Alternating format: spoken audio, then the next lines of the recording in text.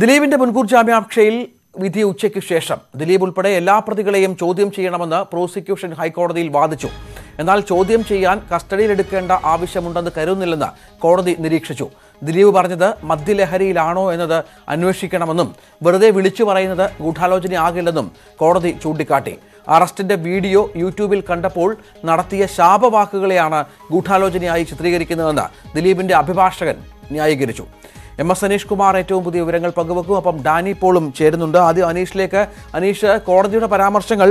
അത് ഈ പ്രോസിക്യൂഷൻ വാദങ്ങളെ ഒരു തരത്തിൽ ഖണ്ഡിക്കുന്നവയാണ്. ഈ പറഞ്ഞതുപോലെ വെറുതെ പറഞ്ഞ കാര്യങ്ങൾ ഗൂഢാലോചനയായി കാണാൻ സാധിക്കുമോ എന്നുള്ള ചോദ്യങ്ങളൊക്കെ വളരെ പ്രസക്തമായി മാറുന്നുമുണ്ട് ഈ ഘട്ടത്തിൽ. എന്തൊക്കെയാണ് വിവരങ്ങൾ? കോടതിയുടേതായ ചില ചോദ്യങ്ങളാണ് ഈ കേസുമായി ബന്ധപ്പെട്ട് ഇപ്പോൾ മുന്നോട്ട് വന്ന് വന്നുകൊണ്ടിരിക്കുന്നത്. അതൊരുപക്ഷെ വിധിയെ സ്വാധീനിക്കുമെന്ന് പൂർണമായി പറയാനും കഴിയില്ല. കാരണം പ്രതിഭാഗം ഇതൊരു കെട്ടിച്ചമച്ച ആരോപണം മാത്രമാണ് എന്ന വാദത്തിലാണ് ഉറച്ചു നിൽക്കുന്നത്.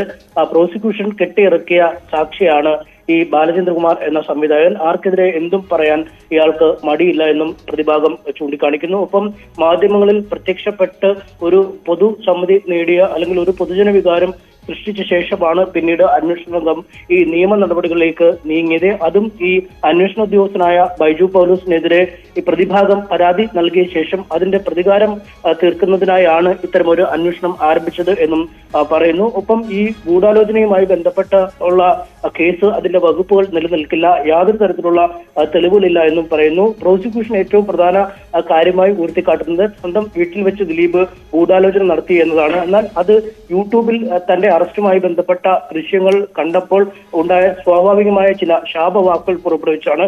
അതിനെ ഗൂഢാലോചനയെ കണക്കാക്കാൻ കഴിയില്ല. ഒപ്പം ഈ വാക്കുകൾ പുറപ്പെടുവിക്കുന്നതിനിടയിൽ ദിലീപ് മദ്യപിക്കാനായി അകത്തേക്ക് പോയിരുന്നു എന്നും ചന്ദ്ര ബാലചന്ദ്രകുമാറിന്റെ മൊഴിയുണ്ട്. അതുകൊണ്ട് പൂർണമായും മദ്യലഹരിയിലായിരുന്നോ ഇത്തരം കാര്യങ്ങൾ ചെയ്തിരുന്നത് എന്നൊരു ചോദ്യവും ഈ കോടതിയുടെ ഭാഗത്തു നിന്നും ഒരു ഘട്ടത്തിലുണ്ടായി. എന്തായാലും വലിയ ഗൗരവമുള്ള ആരോപണങ്ങളാണ് ഉയർന്നു വന്നിരിക്കുന്നത്. അതേക്കുറിച്ച് പ്രത്യേകമായ കൃത്യമായ അന്വേഷണം വേണം എന്നും കോടതി പറഞ്ഞിട്ടുണ്ട്. എന്നാൽ ഈ സംഭവങ്ങളുമായി ബന്ധപ്പെട്ട് കൃത്യമായ തെളിവുകൾ പോലീസിന്റെ പക്കൽ ഉണ്ട് എന്ന് പ്രോസിക്യൂഷൻ കോടതിയിൽ വ്യക്തമാക്കി. തെളിവുകൾ എന്നാൽ ഒരു തുറന്ന കോടതിയിൽ പുറത്തുവിടാൻ കഴിയില്ല എന്ന് സർക്കാർ വ്യക്തമാക്കുകയും ചെയ്തു. അതുകൊണ്ട് തന്നെ ഈ ഈ കേസും അതായത് നടിയെ ആക്രമിച്ച കേസ് അടച്ചിട്ട മുറിയിൽ പരിഗണിക്കുന്നത് പോലെ തന്നെ ഈ കേസും ഇൻ- ഇൻ ക്യാമറ പ്രൊസീഡിംഗ്സ് ആക്കേണ്ടി വരും എന്ന ഒരു സൂചനയും ഹൈക്കോടതിയുടെ ഭാഗത്തു നിന്നും നൽകി. എന്തായാലും ഈ കേസുമായി ബന്ധപ്പെട്ട് അട്ടിമറിക്കാൻ അതായത് നടിയെ ആക്രമിച്ച കേസ് അട്ടിമറിക്കാനുള്ള എല്ലാ നീക്കങ്ങളും പ്രതിയുടെ ഭാഗത്തുനിന്നും നിരന്തരം ഉണ്ടാവുന്നുണ്ട്. ഇതുമായി ബന്ധപ്പെട്ട് രണ്ട് എഫ്ഐആറുകൾ രജിസ്റ്റർ ചെയ്തിട്ടുണ്ട് എന്നും കോടതിയിൽ പ്രോസിക്യൂഷൻ വ്യക്തമാക്കി. അടുത്തിടെ ഒരു മാഗസിനിൽ ഒരു മുഖചിത്രവും ലേഖനവും വന്ന് അതുമായി കേസുമായി ബന്ധപ്പെട്ട എല്ലാ കാര്യങ്ങളും ആ ലേഖനത്തിൽ പറയുന്നുണ്ട് എന്നും കോടതിയിൽ അറിയിച്ചിട്ടുണ്ട്. എന്തായാലും തെളിവ് ശേഖരിക്കാൻ ദിലീപിന്റെ കസ്റ്റഡി ആവശ്യമില്ല എന്ന വാദത്തിൽ അഭിഭാഷകൻ ഉറച്ചു നിൽക്കുന്നു. എന്നാൽ പ്രതികളെ കസ്റ്റഡിയിലെടുത്ത് വ്യക്തിപരമായി ചോദ്യം ചെയ്താൽ മാത്രമേ എല്ലാ കാര്യങ്ങളും പുറത്തു വരൂ എന്ന് ഈ പ്രോസിക്യൂഷനും വാദിക്കുന്നു. അറസ്റ്റ് അടക്കമുള്ള അല്ലെങ്കിൽ റെയ്ഡ് അടക്കമുള്ള നടപടിക്രമങ്ങൾ എല്ലാ കാര്യങ്ങളും മാധ്യമങ്ങളെ അറിയിച്ചാണ് ഈ പ്രോസിക്യൂഷൻ അല്ലെങ്കിൽ പോലീസ് ചെയ്യുന്നതെന്ന ഗുരുതരമായ ആരോപണവും ഈ ശരത്തിന്റെ അഭിഭാഷകൻ ഈ ദിലീപിന്റെ സുഹൃത്തായ ശരത്തിന്റെ അഭിഭാഷകൻ മുന്നോട്ട് വെച്ചിട്ടുണ്ട്. എന്തായാലും കേസ് ഉച്ച കഴിഞ്ഞ് ഒന്നേ മുക്കാലിന് വീണ്ടും പരിഗണിക്കും. രഞ്ജിത്ത്. ഒന്നേ മുക്കാലിന് കേസ് വീണ്ടും പരിഗണിക്കുന്ന സാഹചര്യമുണ്ട്. സ്വാഭാവികമായും കോടതിയുടെ ഭാഗത്തു നിന്ന് ഒരുപക്ഷെ അല്പസമയത്തിന് തന്നെ ജദിലീപിന്റെ ദിലീപിന്റെ മുൻകൂർ ജാമ്യാപേക്ഷയിൽ ഒരു തീരുമാനം വന്നേക്കാം. ഇതുവരെയുള്ള ചില പരാമർശങ്ങൾ അത്തരത്തിൽ പ്രോസിക്യൂഷന്റെ ചില വാദങ്ങളെയെങ്കിലും ചോദ്യം ചെയ്യത്തക്ക വിധത്തിലാണ് കോടതിയുടെ ഭാഗത്തു നിന്നുള്ളത് പക്ഷേ അത് വിധിന്യായത്തെ ഏത് തരത്തിൽ ബാധിക്കുമെന്നുള്ളത് നമുക്ക് കാത്തിരുന്ന് കാണേണ്ടി വരും. എം എസ് അനീഷ് കുമാർ വിവരങ്ങൾ പങ്കുവച്ചുകൊണ്ടിരിക്കുന്നു. ഡാനി പോൾ ഏറ്റവും പുതിയ വിവരങ്ങളുമായി ചേരുന്നുണ്ട്. ഡാനി ഈ കേസുമായി ബന്ധപ്പെട്ട രണ്ടാം ഘട്ട ക്രൈംബ്രാഞ്ച് അന്വേഷണത്തിൽ കേസ് രണ്ടാം ഘട്ടത്തിൽ ക്രൈംബ്രാഞ്ച് നടത്തിയ ചില പുതിയ പുതിയ തെളിവുകൾ ക്രൈംബ്രാഞ്ച് മുന്നിൽ വന്ന പുതിയ തെളിവുകളുടെ അടിസ്ഥാനത്തിലാണ് ഇപ്പോൾ ഇത്തരം കാര്യങ്ങളിലേക്ക് കടക്കുന്നത്. പക്ഷേ കോടതിയിൽ അവർ ഉന്നയിച്ച വാദങ്ങളിൽ ക്രൈംബ്രാഞ്ച് അടക്കം അന്വേഷണ ഉദ്യോഗസ്ഥർ ഉന്നയിച്ച വാദങ്ങളിൽ ചില സംശയങ്ങൾ കോടതി പ്രകടിപ്പിക്കുന്ന പശ്ചാത്തലം കൂടിയുണ്ട്. ഒപ്പം ദിലീപും മറ്റ് ആളുകളുമൊക്കെ അവിടെ ആലുവയിലെ വസതിയിൽ തന്നെയുണ്ടോ അവർ സാഗൂതം ഈ വിധി നോക്കിക്കാണുമായിരിക്കുമല്ലോ അല്ലേ?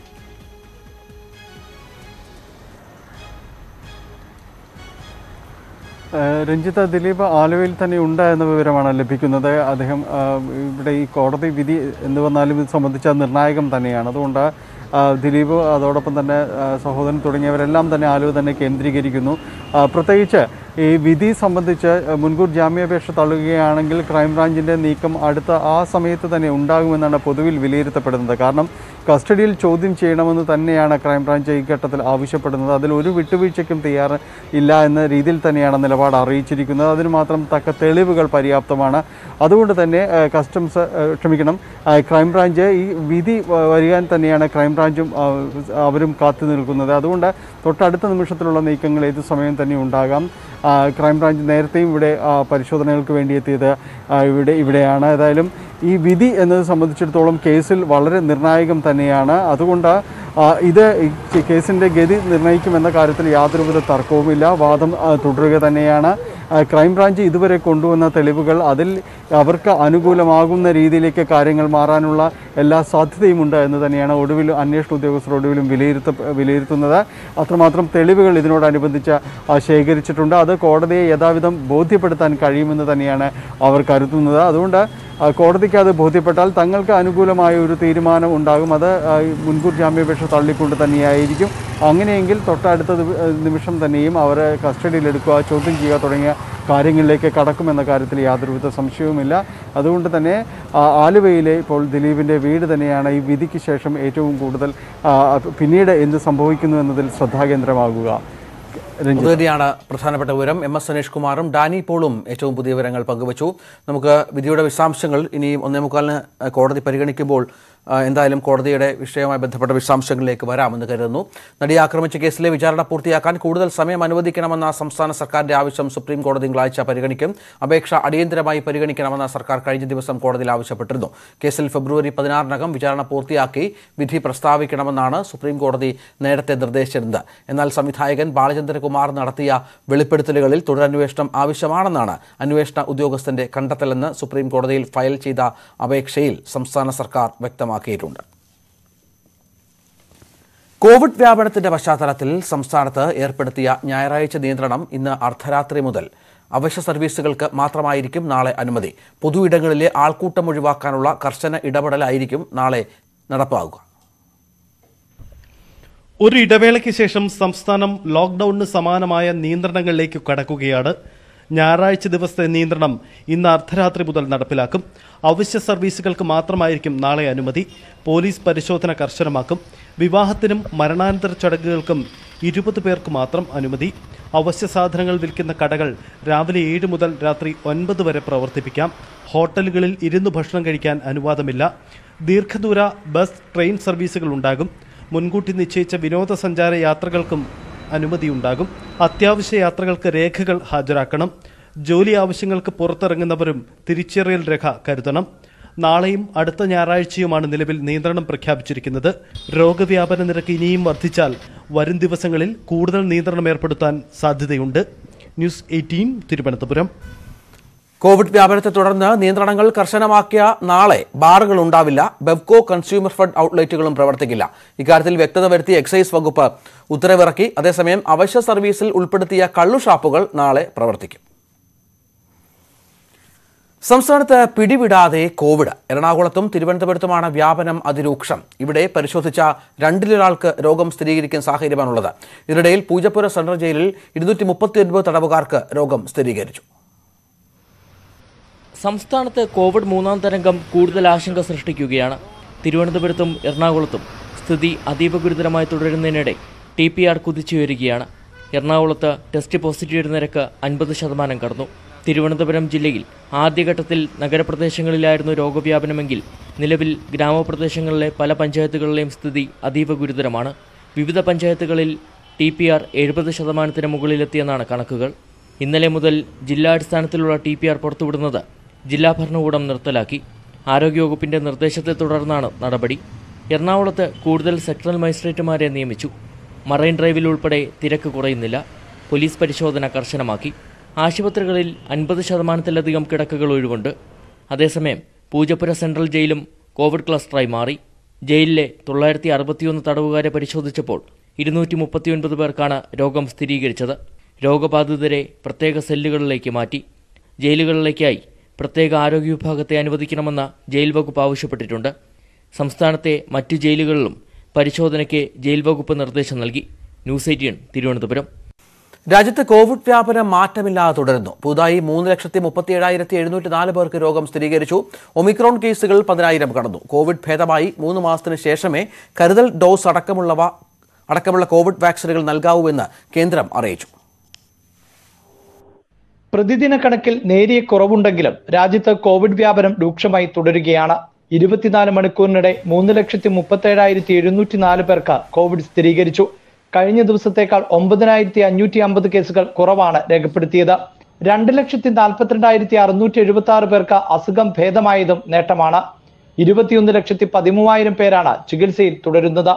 പതിനേഴ് ദശാംശം രണ്ട് രണ്ട് ശതമാനമാണ് പ്രതിദിന രോഗവ്യാപന നിരക്ക്. മഹാരാഷ്ട്ര കർണാടകം കേരളം എന്നീ സംസ്ഥാനങ്ങളിൽ നാൽപ്പതിനായിരത്തിന് മുകളിലാണ് പ്രതിദിന കോവിഡ് രോഗികൾ. മഹാരാഷ്ട്രയിൽ നാൽപ്പത്തെണ്ണായിരത്തി ഇരുന്നൂറ്റി എഴുപത് പേർക്കും കർണാടകത്തിൽ നാൽപ്പത്തെണ്ണായിരത്തി നാൽപ്പത്തി ഒമ്പത് പേർക്കും കോവിഡ് സ്ഥിരീകരിച്ചു. തമിഴ്നാട്ടിൽ ഇരുപത്തൊമ്പതിനായിരത്തി എണ്ണൂറ്റി എഴുപതും ഗുജറാത്തിൽ ഇരുപത്തൊന്നായിരത്തി ഇരുന്നൂറ്റി ഇരുപത്തഞ്ച് കേസുകളും റിപ്പോർട്ട് ചെയ്തു.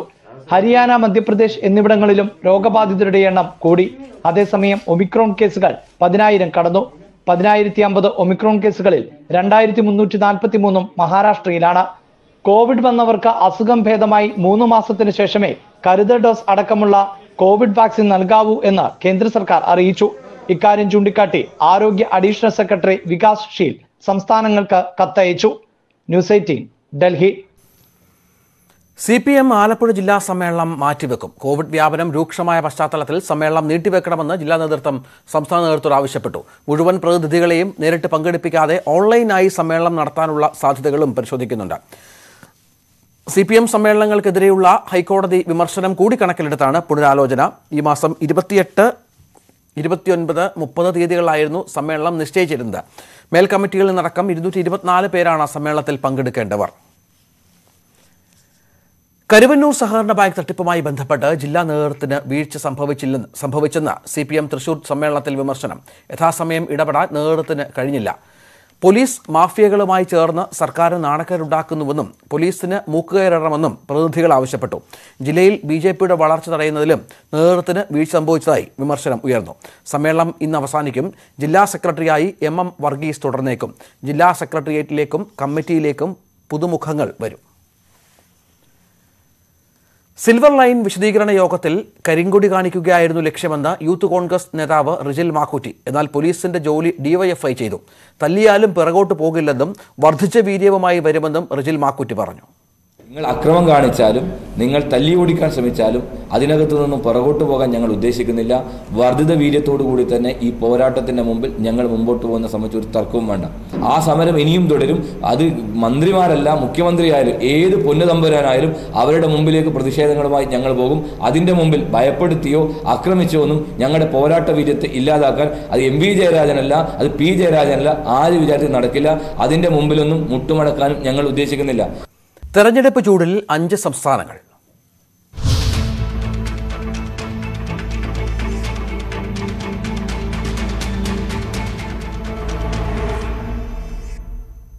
യു പിയിൽ കോൺഗ്രസിന്റെ മുഖ്യമന്ത്രി സ്ഥാനാർത്ഥിയാകുമെന്ന് പറഞ്ഞില്ലെന്ന് പ്രിയങ്ക ഗാന്ധി. പരാമർശം അതിശയോക്തി നിറഞ്ഞ രീതിയിൽ വ്യാഖ്യാനിച്ചുവെന്ന് പ്രിയങ്ക ഗാന്ധി പറഞ്ഞു. തെരഞ്ഞെടുപ്പിന് ശേഷം ബി ജെ പി ഒഴികെ ഏത് പാർട്ടിയുമായും സഖ്യത്തിന് തയ്യാറാണെന്നും പ്രിയങ്ക ഗാന്ധി വ്യക്തമാക്കി.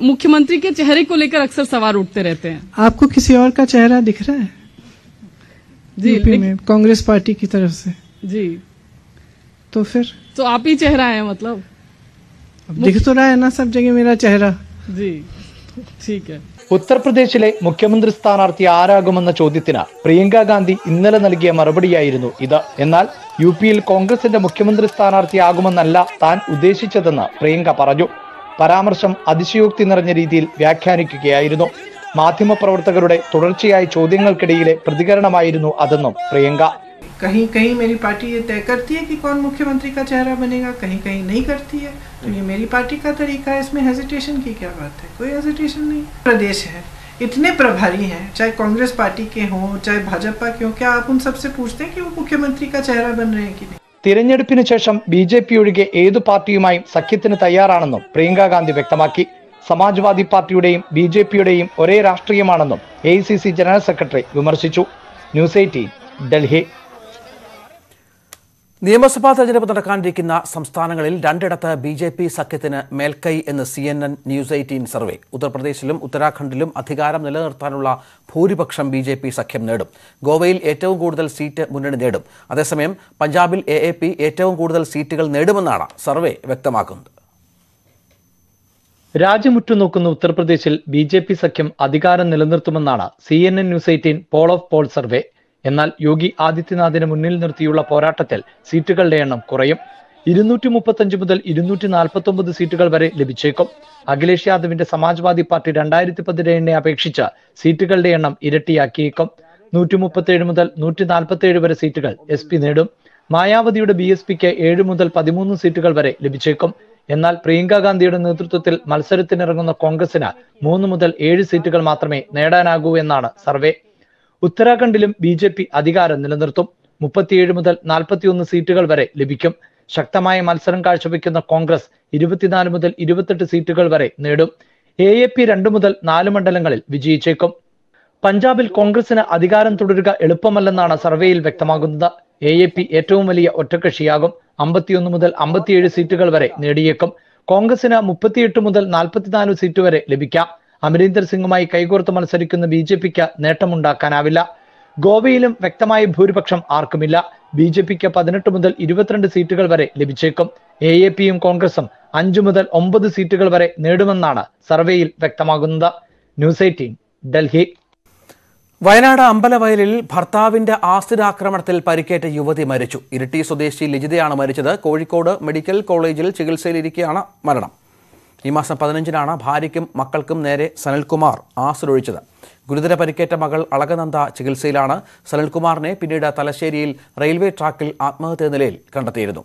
കുടുംബ പ്രശ്നങ്ങൾ കാരണം കണ്ണൂർ കൊട്ടിയൂരിൽ നിന്ന് ഒരു മാസം മുൻപാണ് ലിജിത മകളോടൊപ്പം വയനാട് അമ്പലവയലിൽ എത്തിയത്. തമിഴ്നാട് കോയമ്പത്തൂരിന് സമീപം ഗോഡൌണിൽ തമ്പടിച്ച പുലിയെ പിടികൂടി. കെട്ടിടത്തിന് സമീപം തമിഴ്നാട് വനം വകുപ്പ് സ്ഥാപിച്ച കൂട്ടിൽ പുലി അകപ്പെടുകയായിരുന്നു. പുലിയെ ആനമല വനത്തിനുള്ളിൽ കൊണ്ടുവിടുമെന്ന് അധികൃതർ പറഞ്ഞു. നാല് ദിവസം മുമ്പാണ് വാളയാറിനും കോയമ്പത്തൂരിനുമിടയിൽ പി കെ പുതൂരിലെ സ്വകാര്യ ഗോഡൌണിനുള്ളിൽ കയറിയ പുലി അവിടെ തമ്പടിച്ചത്.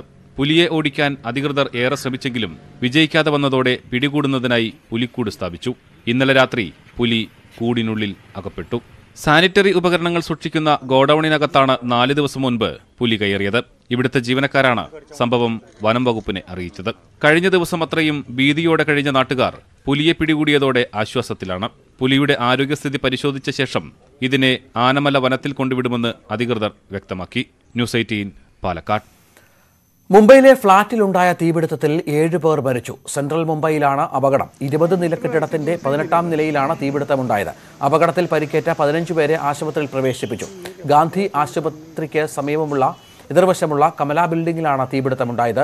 ഫ്ളാറ്റിൽ കുടുങ്ങിയ എല്ലാവരെയും പുറത്തെത്തിച്ചു മുംബൈ കിഷോരി പട്നേക്കർ. മുംബൈ മേയർ ആ വിഷയം അറിയിച്ചിട്ടുണ്ട്. സ്ഥിതിഗതികൾ നിയന്ത്രണ വിധേയമാണെന്നും മേയർ കൂട്ടിച്ചേർത്തു. തീപിടുത്തത്തിന്റെ കാരണം വ്യക്തമല്ല. കൊല്ലം അഞ്ചാലമൂട്ടിൽ യുവാവിന് ക്രൂരമർദ്ദനം. ഓട്ടോറിക്ഷ തൊഴിലാളി പ്രകാശ് കുമാറിനാണ് മർദ്ദനമേറ്റത്. ഉത്സവത്തിനിടെ ഉണ്ടായ തർക്കമാണ് മർദ്ദനത്തിൽ കലാശിച്ചത്. കൊല്ലം അഞ്ചാലുമൂട്ടിൽ കഴിഞ്ഞ ദിവസം പട്ടാപ്പകലാണ് യുവാവിനെ വളഞ്ഞിട്ട് മർദ്ദിച്ചത്. തടയാനെത്തിയ സഹോദരിയെയും അക്രമി സംഘം മർദ്ദിച്ചു. പ്രദേശവാസിയും ഓട്ടോ ഡ്രൈവറുമായ പ്രകാശ് കുമാറിനാണ് മർദ്ദനമേറ്റത്. പ്രദേശത്തെ ഉത്സവത്തിനിടെ ഉണ്ടായ തർക്കമാണ് മർദ്ദനത്തിൽ കലാശിച്ചത്. ഘോഷയാത്രയ്ക്ക് പിന്നാലെ റോഡിലൂടെ എത്തിയ ഒരു സംഘം യുവാക്കൾ ജംഗ്ഷനിൽ തമ്പോലം കൊട്ടി പാടി ഗതാഗത തടസ്സമുണ്ടായപ്പോൾ മറ്റു ചിലർ ഇടപെട്ടു. ഇത് വാക്കേറ്റത്തിൽ കലാശിക്കുകയായിരുന്നു. എന്നാൽ ഈ സംഭവത്തിൽ ഉൾപ്പെടാത്ത പ്രകാശ് കുമാറിനാണ് മർദ്ദനമേറ്റത്. പാലവള രാജേഷ് എന്ന് പറയുന്നവൻ ഇടുപ്പിൽ നിന്ന് ചെറിയൊരു ഉടുപ്പ് പൊക്കിയിട്ട് ഒരു ചെറിയൊരു കുറുവടി എടുത്ത് ഒരൊറ്റ അടി. അടിച്ചതല്ല ഞാൻ ഓടി.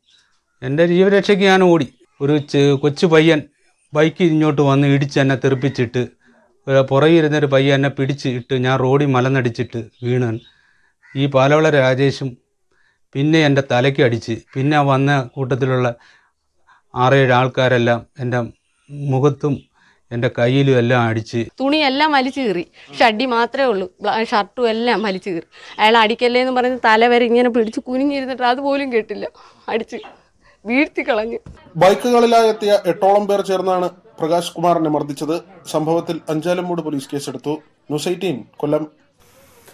America Canada അതിർത്തിയിൽ ഇന്ത്യക്കാരെന്ന് സംശയിക്കുന്ന നാല് പേർ അതിശൈത്യത്തിൽ മരിച്ച നിലയിൽ അനധികൃത കുടിയേറ്റത്തിനിടെയാണ് ദുരന്തം.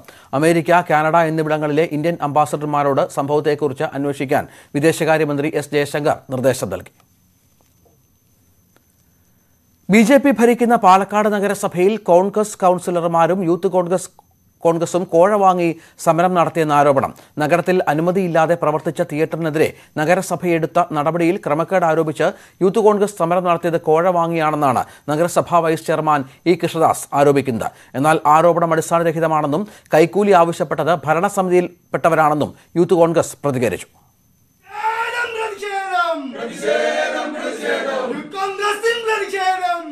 ജനുവരി പതിനെട്ടിന് പാലക്കാട് നഗരസഭയിലെ റവന്യൂ ഓഫീസറെ ഉപരോധിച്ച യൂത്ത് കോൺഗ്രസ് സമരത്തിനെതിരെയാണ് ഗുരുതര ആരോപണവുമായി നഗരസഭാ വൈസ് ചെയർമാൻ ഇ കൃഷ്ണദാസ് രംഗത്ത് വന്നത്. ആവശ്യമായ അനുമതി രേഖകളില്ലാതെ പ്രവർത്തിച്ച നഗരത്തിലെ തിയേറ്ററിനെതിരെ നഗരസഭ നടപടിയെടുത്തിരുന്നു. ഇതിൽ ക്രമക്കേടുണ്ടെന്ന് ആരോപിച്ചായിരുന്നു യൂത്ത് കോൺഗ്രസ് സമരം. എന്നാൽ സമരത്തിന് നേതൃത്വം നൽകിയ കോൺഗ്രസ് കൗൺസിലർ തിയേറ്ററുകാരിൽ നിന്നും പണം വാങ്ങിയാണ് സമരം നടത്തിയതെന്ന് കൃഷ്ണദാസ് ആരോപിച്ചു. യൂത്ത് കോൺഗ്രസിന്റെ നേതാക്കന്മാർക്ക് ചില ആളുകൾ പൈസ നൽകി എന്നിട്ടാണ് ഇവിടെ ഈ പറയുന്ന സമരം. അതായത് ഈ തിയേറ്റർ തുറന്നു കൊടുക്കണം അടിയന്തരമായി എന്നുള്ള രീതിയിൽ സമരം നടത്തിയത് എന്നുള്ളതാണ് ഒരു വാർത്ത പുറത്തു വന്നിരിക്കുന്നത്. വളരെ ഞെട്ടിപ്പിക്കുന്ന സംഭവമാണ്. കാരണം യൂത്ത് കോൺഗ്രസിന്റെ സംസ്ഥാന അധ്യക്ഷന്റെ മൂക്കിന് താഴെയാണ് ഈ സമര ആഭാസങ്ങൾ ഇവിടെ പാലക്കാട് നഗരസഭയിൽ നടന്നുകൊണ്ടിരിക്കുന്നത്. ആരോപണം അടിസ്ഥാനരഹിതമാണെന്ന് യൂത്ത് കോൺഗ്രസ് മണ്ഡലം പ്രസിഡന്റ് സദ്ദാം ഹുസൈൻ പറഞ്ഞു. തിയേറ്ററിന് അനുമതി നൽകാൻ രണ്ട് ലക്ഷം രൂപ കൈക്കൂലി ആവശ്യപ്പെട്ടത് ഭരണസമിതിയിൽപ്പെട്ടവരാണെന്നും സദ്ദാം ആരോപിച്ചു. ആരോപണം വളരെ കൃത്യമാണ്. ബി ജെ പി നേതൃത്വം കൃത്യമായി തിയേറ്ററിന്റെ ഉടമയിൽ രണ്ട് ലക്ഷം രൂപ ചോദിച്ചതായിട്ടാണ് അറിയാൻ സാധിച്ചത്. ഇതിനൊരു വ്യക്തമായിട്ടുള്ള അന്വേഷണം വേണം. ഞങ്ങൾ യൂത്ത് കോൺഗ്രസ് ഒറ്റ കാര്യം പറഞ്ഞു ഒരിക്കലും തിയേറ്ററുകൾ തുറക്കണം എന്ന് പറഞ്ഞിട്ടല്ല സമരം നടത്തിയത്. എല്ലാവർക്കും നിയമം പാലിക്കണം എന്നുള്ളതാണ്. എന്നാൽ തിയേറ്ററിനെതിരെയുള്ള നടപടിയെ സ്വാഗതം ചെയ്തും യൂത്ത് കോൺഗ്രസ് സമരത്തെ തള്ളിപ്പറഞ്ഞും മുസ്ലിം ലീഗ് കൗൺസിലർമാർ അന്ന് തന്നെ രംഗത്തെത്തിയിരുന്നു. ഇത് യു ഡി എഫിലും ഭിന്നത സൃഷ്ടിച്ചിട്ടുണ്ട്. News eighteen Palakkad. I P L താരലേലത്തിന് ശ്രീശാന്തും അൻപത് ലക്ഷം രൂപ അടിസ്ഥാന വിലയ്ക്കാണ് ശ്രീശാന്ത് രജിസ്റ്റർ ചെയ്തിട്ടുള്ളത്. കഴിഞ്ഞ ലേലത്തിനും ശ്രീശാന്ത് രജിസ്റ്റർ ചെയ്തിരുന്നുവെങ്കിലും അന്തിമ പട്ടികയിലേക്ക് പരിഗണിക്കപ്പെട്ടിരുന്നില്ല. Chris Gayle Ben Stokes Mitchell Starc Archer തുടങ്ങിയ പ്രമുഖ താരങ്ങൾ ഐ പി എല്ലിൽ ഇത്തവണ കളിക്കില്ല. ആർ അശ്വിൻ ഭുവനേശ്വർ കുമാർ ധവാൻ ദേവദത്ത് പടിക്കൽ വാർണർ തുടങ്ങി നാൽപ്പത്തിയൊൻപത് താരങ്ങളുടെ അടിസ്ഥാന വില രണ്ട് കോടിയാണ്. ഇരുപത് താരങ്ങൾക്ക് ഒന്നര കോടിയാണ് അടിസ്ഥാന വില. വാർത്തയിൽ ഇന്ന് പൂർണമാവുകയാണ്. നമസ്കാരം.